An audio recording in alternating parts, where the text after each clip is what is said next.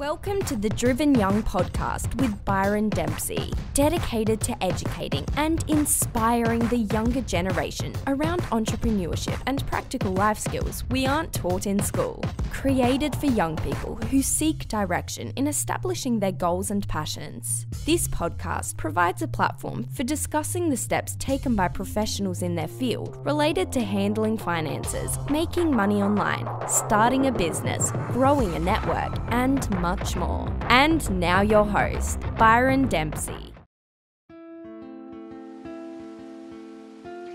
My dear family, after five long years of battling this illness, I just can't take it anymore.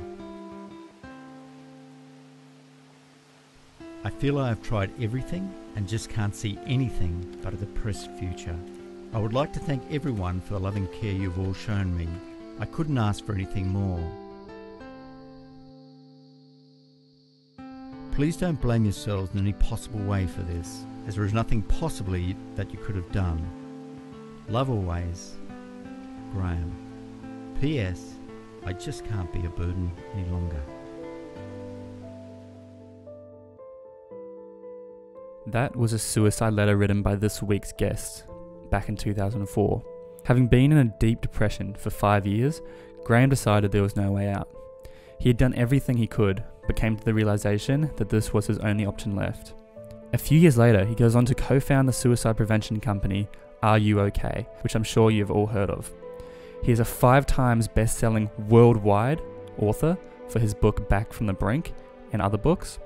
He now runs and manages his own company alongside R U OK and is happily married, living a great life. Co founder of R U OK, Graeme Cowan, joins me on the podcast to discuss depression, how he has dealt with it on more than six separate occasions, and how we both think it's affecting kids in high school and uni. He shares with us his top tips to dealing with depression, how social media is affecting our mental state, how to tell if you're depressed, and how it's probably not as bad as you might think. If you're feeling a bit low, or maybe have friends who are, this podcast is going to bring a lot of value to you. Now, over to Graeme. Graeme, welcome so much to the podcast. Super Well- excited to have you on. Lovely to join you, Byron. So I just thought, you know, I've done a little intro of you. I thought we'd just jump in and talk about um, your story. You can give us a real kind of snapshot of your life, how you got to where you are. I know you've helped co-found R U OK Day, which I'm sure everyone is aware of. So just tell me a bit about how you got into that. Uh, I didn't really plan to.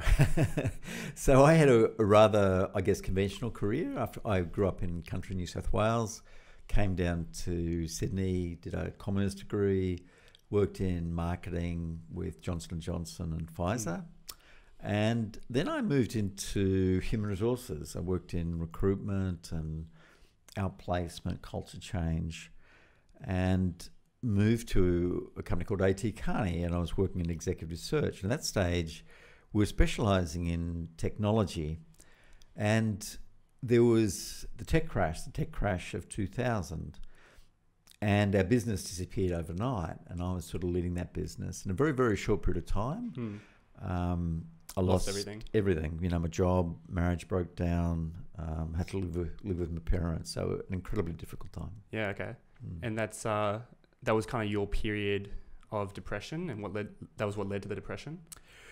It wasn't the only thing, and I'd, I'd had episodes of depression before, but nothing that severe. You Hmm. know, it was it was five years where I was really depressed. I went through, you know, I think it was twenty three different combinations of medication. I had shock therapy or ECT. I was hospitalised, Wow. and um, So this is proper depression. We're not talking. You're not just you know sad and struggling to get up. This is five years of really serious depression. Yeah, really profound, and it is different in that um, you know you can't concentrate. You think black and white. Hmm. Um, you can't see any hope, and Yeah. uh, in fact, you know, I got to the stage where you know I I was hundred and ten percent convinced that I wouldn't recover, and um, you know wrote a suicide note and attempted to take my life. Yeah, right. And this suicide note you've just uh, just released online last week actually, and I saw it got some pretty good traction with that. You got picked up by the media. Yeah, well, the funny thing is that um, you know I, I put it in my book back from the brink Hmm. like twelve years ago. Yeah. and people commented on it then. But last week, just before R U OK Day was uh, World Suicide Prevention Day. And I just said that um, I'd never shared this before. And the reason I shared it was that uh, I wanted to show people that even though when I wrote that, I was 110% convinced I wouldn't get better. Mm. I wanted to show that, you know, I now have a really meaningful and good life to give people hope if they were feeling that situation. And also, if there were people that saw it, that were trying to support someone, that they'd know to sort of reach out and to ask, Are you okay? Yeah. And um, as you said, I, I put it up. I had no idea what would happen, but it, it went viral. It, it had 70,000 views and comments all around the world within Yeah. 18 hours. And the ABC saw it. And, uh, you know, it's funny, the day before um, R U OK Day, I had this call, and, you know, the journalist said, I'd seen this, can answer a few questions. And then they posted as their lead story on R U OK Day, Yeah, wow. and other um, uh, other media outlets sort of then copied the story, copied and pasted it. So it was quite um, profound.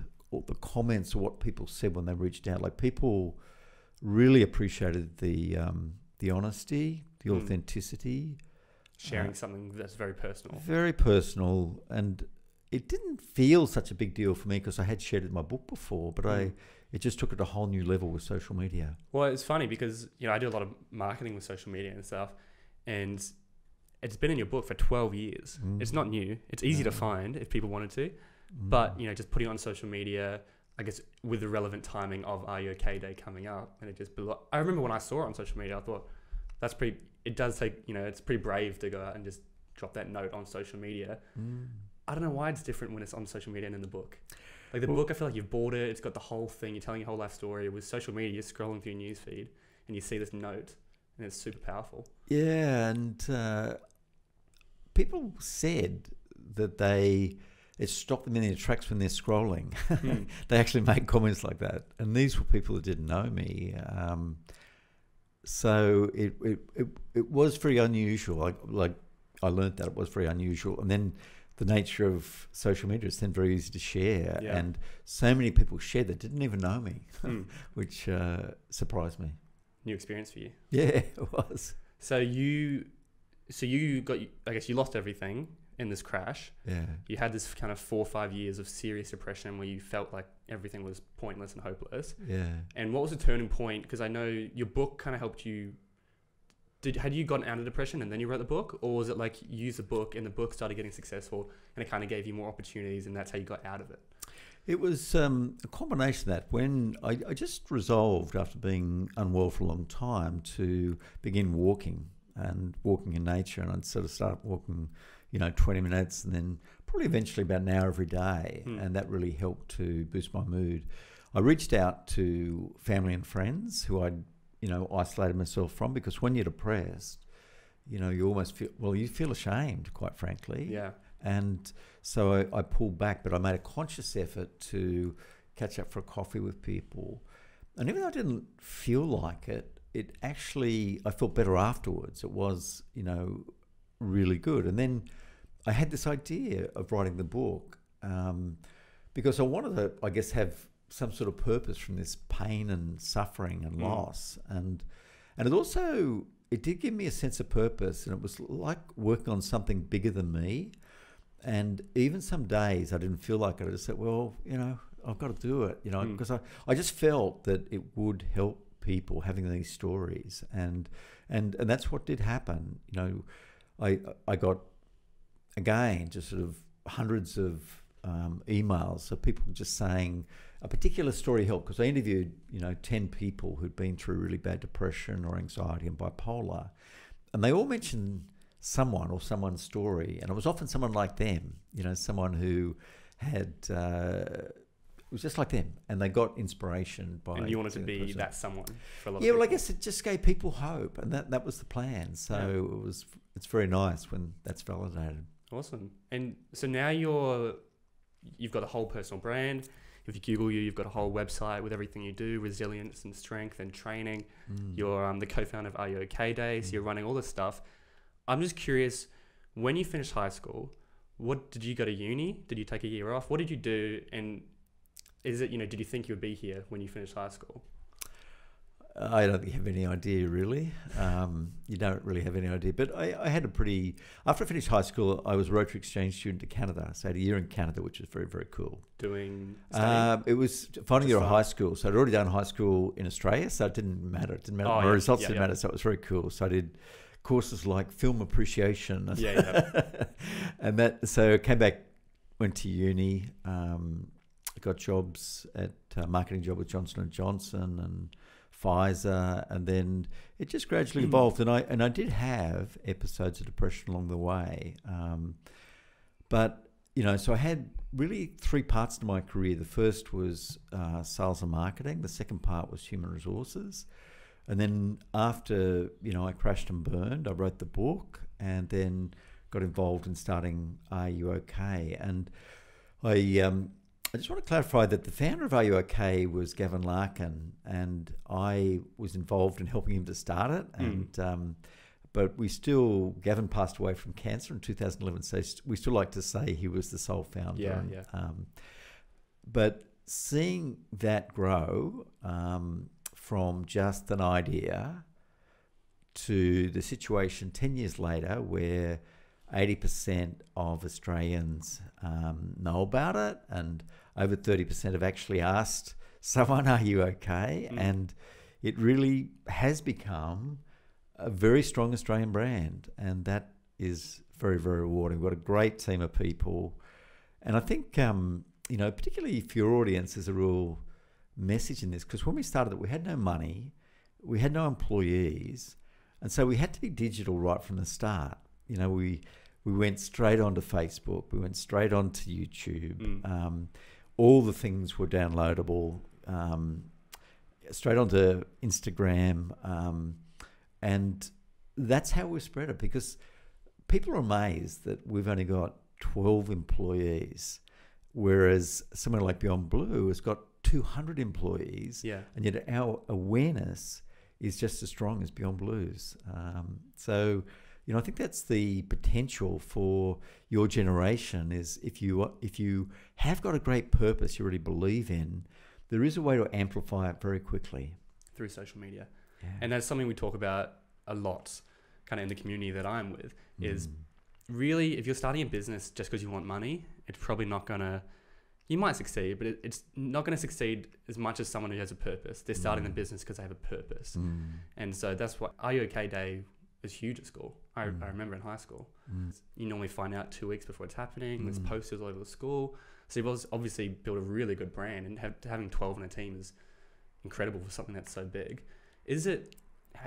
I'm not sure. Is it global yet, or is it just in Australia?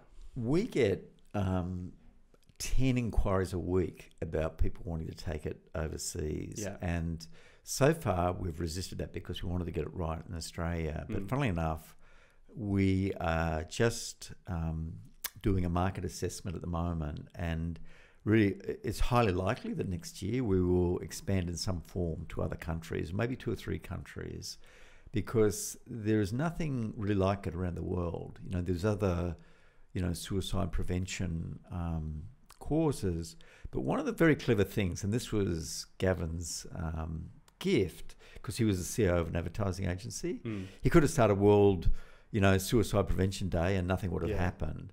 But the R U OK let people know what to do. Yeah. But the tagline also was really meaningful, and that was a conversation could change your life. And everyone can relate to that. It's not mm. just about suicide. You just know, you know, someone who's going through a tough time, whether it's financially or losing a job, the right conversation, the right supportive and caring conversation can make a real difference. Absolutely. And that's the reason why it has grown exponentially.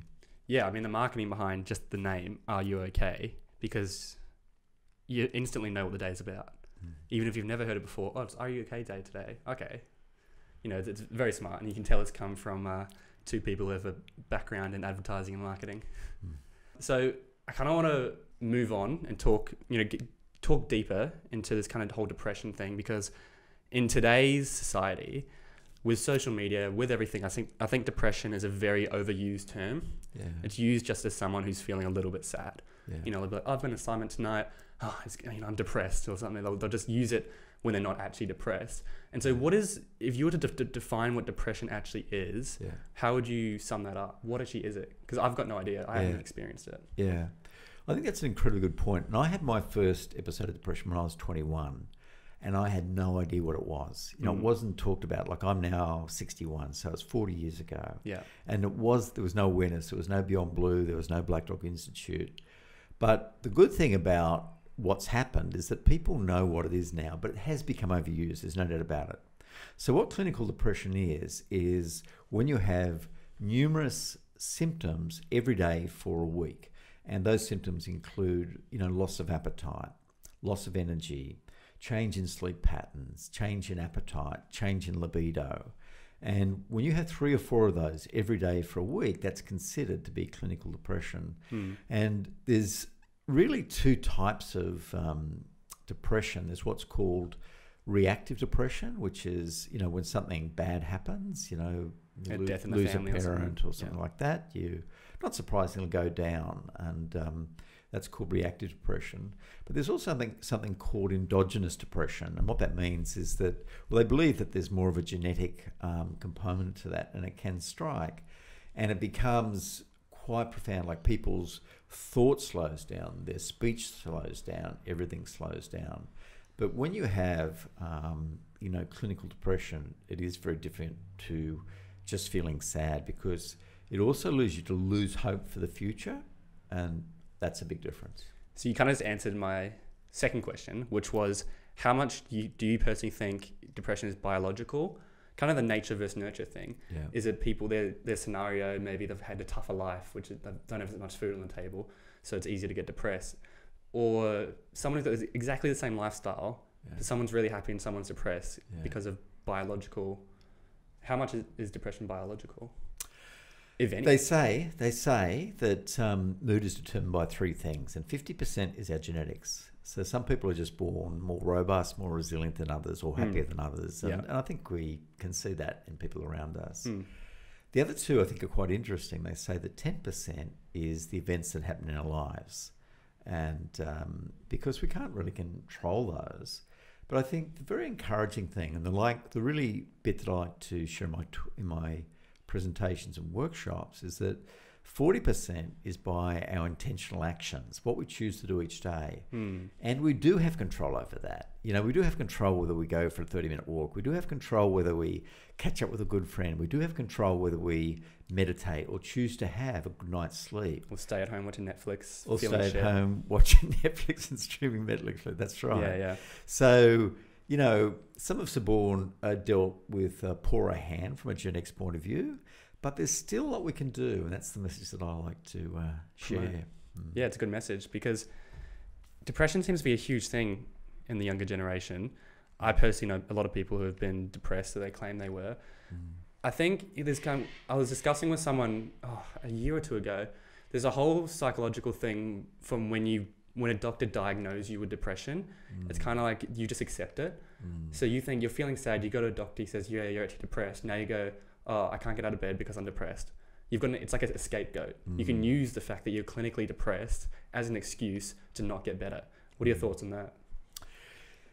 Yeah, that can be it can be a reaction, and I hope that doctors are getting more um, more positive in their language about that because you know it is good to know that you are being affected by an illness that you know you may not have a great deal of control of. But the really important thing to know is that little things can make a big difference, and regular exercise has been like just a thirty minute brisk walk over, you know, you do that five days out of seven, Yeah. that's been shown to be just as effective as antidepressants for mild depression. Wow. And there's there's just there's no downside with having a 30 minute brisk walk. And so hopefully more doctors are talking about that. There's also incredible value in getting outside, you know, getting in the Mm. sun, vitamin D's, all that sort of stuff. There's great value in catching up with good friends, people that are good for us. So my message is you can't be passive about it. And I obviously have a predisposition to depression. I've had, you know, six episodes in my life, but I'm Sorry, just to, six episodes. Does that mean you've got you've had depression, you've gotten good, you've had it again, gotten good. So Yeah. that's not all in one hit. It's No. six separate. Six separate, six, Oh, wow, sep- okay. six, six separate episodes since I was 21. Yeah, wow. Um, but you know, because I've been there, I'm, I'm, I am really disciplined about you know meditating each day, exercising each day, catching up with family and friends, Mm. and I know that that helps to immunize me. So no pills, just the. Uh, I don't take any pills at all whatsoever now, but I do stress that some people can get great relief from antidepressants. Um, but you can't rely on that by itself. A big mistake combination of you both. have to you have to try multiple strategies because you don't know what's going to work. Mm. You know, for some people, exercising can have a great effect. Um, for some people, um, antidepressants can give them a boost, but you just can't rely on that solely. So these other strategies just help to get a scaffolding around you. Yeah, and doing a 30 minute walk is very easy. It's very easy. You can do it. Everyone has time to do that. Everybody, you know, whether it's you know before you work, at lunchtime, after work, everybody can do it. Yeah. Mm. Yeah, that's a good little takeaway. Um, so something I thought would be really interesting to talk about would be social media and just how we live in a world right now everyone when you look on Instagram, these Instagram models or whatever it is, they're only showing the highlights of their life. And so people perceive this as a happy lifestyle. There's you know, it's highlight after highlight after highlight after highlight after highlight. And so I think when people see this, they think that's what a happy lifestyle is. And when they don't have it, it can cause you know them to feel sad. When really it's just human. You know, being human is having highs and then having lows. Except on Instagram, we don't see the lows. Yeah. What are your thoughts on social media and affecting the younger generation with not depression, but you know, making kind of feeling shit about yourself or comparisons? Yeah. The comparison thing is huge, and there's actually research that shows that the longer you spend on social media, the greater your unhappiness and and um, and mental health problems. Mm. So it's not as because there is a lot of that comparison, and people think, oh wow, they're having the perfect life. Here's me. I'm you know not getting sunset shopped, not going on the beach each Yeah. day, not with all my friends having a wonderful time, and there's great things about it, but I think it's really important to be aware that there's big downsides as well. You know, little bits and pieces are really good.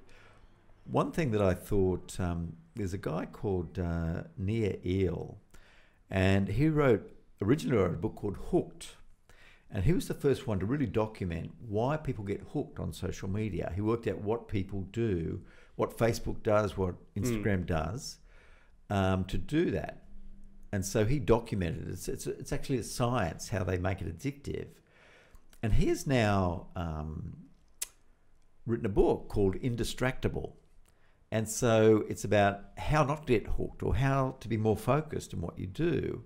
And one of the things that he recognizes is that social media in itself isn't a bad thing, but it can be a distraction. So if we're bored or we're a bit anxious or what have you, it can be quite natural to go to social media as a distraction. Mm. And so one of the first things he talks about in Indistractable is learning how to be comfortable with the internal triggers. You know, be comfortable just feeling bored, be comfortable feeling a bit stressed. I think I've heard this before because people, you know, you sit down and have breakfast and you start watching YouTube. You can always got to be stimulated by social media or some sort of, typically your phone or Netflix or whatever it is. So it's just being comfortable in the moment. comfortable in the moment and also comfortable with the fact that life isn't all, you know, beer and honey or beer and skittles. You know, it's, it's uh, all of us have ups and downs. Being human, I think. It's being human and uh, it's knowing, and I think the big thing, if you do get comfortable with experience discomfort, it passes. It's even like hunger. You know, I, I do intermittent fasting actually, and I used to think, well, you know, if you get hungry, I'll just get hungrier and hungrier and hungrier. Well, you don't. Hmm, you you know, you have it, and then you pa- it passes. And it's also the same with boredom or even a bit of distress. You can have discomfort, but it doesn't mean it's going to last forever. You can, you know, you can do breathing exercises. You can try and be really observant by looking, you know, at a beautiful flower or something outside Yeah. and it passes. And I think the thing with having the phones on us 24 7 is that's the natural thing that we move to to distract ourselves. Well, second, you're not engaging with someone or you're not doing anything. It's just instinct to pull out your phone and just meaninglessly scroll. you're not achieving anything. I, I do it all the time. I always catch myself. I'm like, why am I doing this? What's the purpose? I'm not even liking. I'm just scrolling through my news feed. It's so pointless. But the thing you'll find, Byron, and you'll have seen this, you go on a train or a bus, everyone's doing the same thing. Yeah. and it doesn't matter what age they are. And, and, and I think people have lost a bit the ability to daydream. And there's something not good about that because um, with daydream and with being comfortable in our own skin, you know, new things happen, creativity happens. Hmm. I think what I've kind of tried to do is like in the train or bus scenario, let's say I'm traveling somewhere, is I listen to a lot of podcasts. Mm. So I try while listening to the podcast, just listen to the podcast. Don't scroll through your feed because sometimes I've done that. and I'm like, I just did not listen to the past ten minutes, and I have to, to reverse it. Yeah. So I listen to podcasts, or even if you listen to music, you don't have to be on your phone. You can just sit in the train and listen to music, or just sit in the train and listen to the podcast. And I find that's an effective way to kind of still get the stimulation, but not get the the pointless scrolling. yeah. So you can yeah. still kind of be in the moment, but while also kind of learning or listening, having you know, comedy podcast, whatever it is. And I think that's a really good point. Just doing one thing, you know, because there is that, there is that temptation to listen and scroll at the same time. Well, you don't achieve anything. Hmm. you can't engage in what's on Instagram, and you can't engage, you can't remember what you're listening to. Yeah, generation of multitasking. like people think we can do it, we can't. like all the evidence says we can't. Yeah, and I think something like when you start multitasking, your pro- productivity like halves, and then if you're doing three things at once, it goes down again, or something ridiculous. It is. It's crazy. There's like an exercise where you do the alphabets A B C D E F G, and then you count one, two, three, four, five, six, seven to twenty, and then you try to go one A one to B two, and you can see when you're multitasking, it's way slower. And yeah, it's just, just it's just killer. I struggle with it so bad. The um Well, the you know, we all do. We all do. Um, but, you know, when I walk, for example, and I walk or do exercise most mornings, I really do try to just walk. mm, and just stay in the moment. Yeah. Awesome. Mm. And um, so I want to talk about your book, Back from the Brink. So when did you write this? Uh, I've done three in this uh, in series. So the first one was 12 years ago, and then I did one which is called Back from the Brink 2, which for was for loved ones and how best to help someone.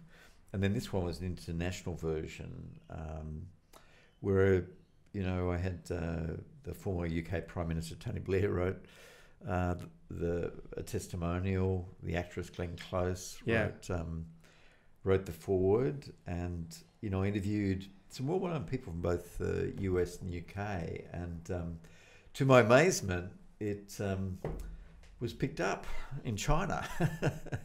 and uh, this is back from the brink, and this says Graeme Cowan. I have no idea What it says? what what the bird is Yeah, about. so maybe some of your listeners who um, you know are Chinese could explain to it, but it has become um, bestseller in China. So it's a bestseller in Australia or worldwide. Yeah. Worldwide. Well, it's strong in Australia, strong in the US, but the biggest sales are in China. Oh, really? Yeah. There you go. Yeah, It's fascinating. it's a big country. so how is how's the book affected your life? Has it opened opportunities? What it like? And you wrote it so after your five year depression yeah, yeah. as a way of helping other people, being that person we spoke about earlier. Yeah, well, it was it was helping other people, but it was also helping me. Mm. Like, quite frankly, it was an important part of my recovery when I did As a come project to focus as a on. project. Um, but but it wasn't a me project. I, I kept on thinking, how can it help other people? And that was, I think, something that really helped me keep going. Um, but it did. It led you know, when the first book came out. It led to lots of publicity because I had Mm. some well-known people in the book, and I had 200 media interviews in a month. wow. Like 200. 200, yeah, radio. And this was really, so this is 12 years ago. So it was before podcasts really were popular, but I did radio and um, paper and, uh, and TV. And what I learned from that was that, that, you know, depression touches lots of people. But most of the people that contacted me were actually those who were trying to support those that had depression. And that's how I knew that R U OK was a really good thing because that's who Mm. we targeted, the people surrounding those that were, that were struggling. And, it, and you're right, it did lead to lots of opportunities, funnily enough, from, from country areas.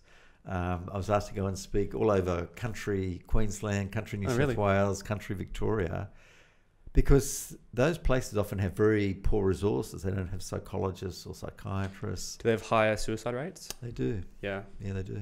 Okay. And um, and then it was interesting because I came from the corporate area. I'd worked for you know Johnson and Johnson, Pfizer, and management consulting companies. And I went back to workplaces and said, look, I want to talk about this in the workplace. And everyone said, oh, we don't have any problems here. No one's depressed. No one's anxious. It's Mm. all under control. Not a problem. But that's all changed in the last sort of four years where there's general recognition of how big the problem is. And I think the other thing that really changed was that I learned how to express it in a way that everyone related to because I talked about a moodometer. And, you know, moodometer 0 to 10. 10 is where what I call the green zone, you know, where you're more optimistic, more resourceful, more energetic, more grateful. Yeah. And the red zone where you're depressed, angry, anxious. And we all slide around that moodometer. You know, we spend time in the in the amber zone, but everyone can relate to it because we're all somewhere on that moodometer. And I think it's just really important to think about, you know, what can I do to move up to the next? If I'm in the red zone, how do I get to the amber zone? From I'm Yeah. the amber zone, how do I get to the green zone? And that just really made it really universal in the workplace. And so, you know, talking about um, seven rituals of resilient people, talking about mastering your mood, talking about building a green zone team, um, all really resonated in the workplace and took it from a, a niche book about mental illness to you know something that you know every every workplace embraces now. Yeah. And so it's almost a standard for workplace health.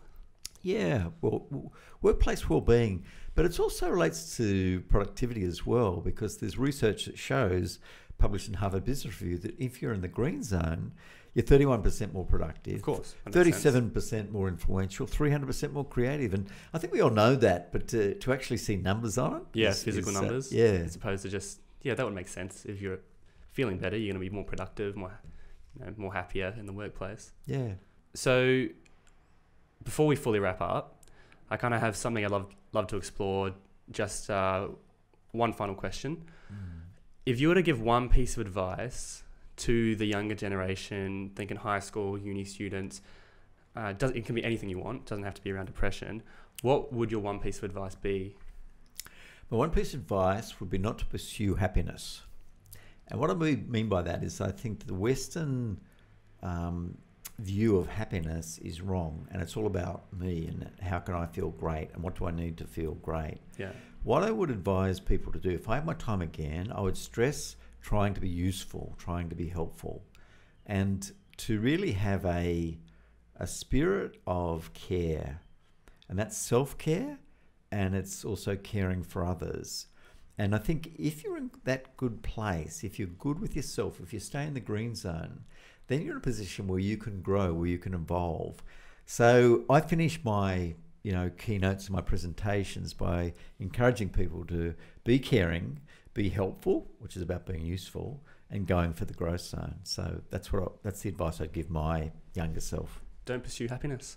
Don't pursue Sounds very uh, counteractive as opposed to most people who would say pursue happiness. that's my recommendation. Pursue purpose and usefulness. Awesome. Graeme, thank you so much for coming on the podcast. My pleasure, Byron. All right. If you are still here, thank you so much for listening to this entire episode. If you got some value out of it, it would mean the world to me if you left a review on iTunes or shared it with your friends or family. Otherwise, I'll be putting up videos of this episode on Instagram and Facebook, so check it out there at Byron Dempsey or at Driven Young Podcast, and I'll see you on the next one.